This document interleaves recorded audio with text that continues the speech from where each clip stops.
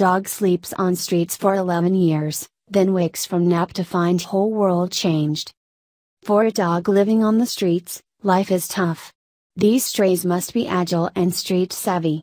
One dog managed to survive for over 11 years on his own as a stray on the streets of Los Angeles, but, as often happens when dogs age, he began to slow down. This poor pooch became exhausted and ill. He took refuge on the porch of a stranger's home, curling up to take a nap and hoping a kind person lived there. Thankfully, he picked the right house. The woman who found him didn't banish him. She took him in and named him Solovino, which in Spanish means, he who came alone. Solovino remained at his makeshift home for days. The woman contacted Rocket Dog Rescue. Based out of San Francisco, this rescue group takes in animals and rehomes them. It embraces dogs who would usually be euthanized at regular shelters. The well tempered dog was taken to the rescue, treated, and then put into a foster home. Sadly, his foster placement didn't last long. Solovino was returned and fostered to different homes for over a year and a half. When Carol Messina read Solovino's sad story online, she immediately fell in love with the old boy and decided to adopt him. A lifelong Star Wars fan, she shortened his name to Solo.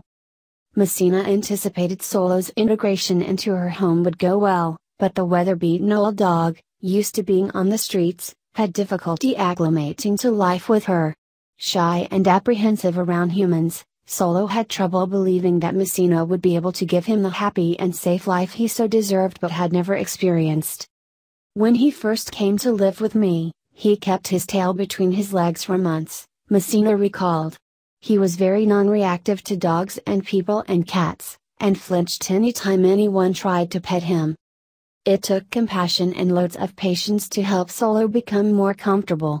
The poor dog had unresolved health issues. Messina discovered he had a hearing impairment that was much worse than everyone initially thought. She realized that the timidness and jumpiness she had noticed wasn't caused by fear, but by being startled by people around him out of his range of sight.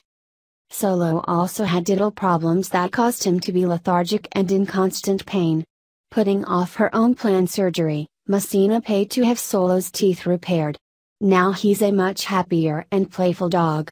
He's even made a best friend in the neighborhood, a dog named Bailey, whom Solo visits often.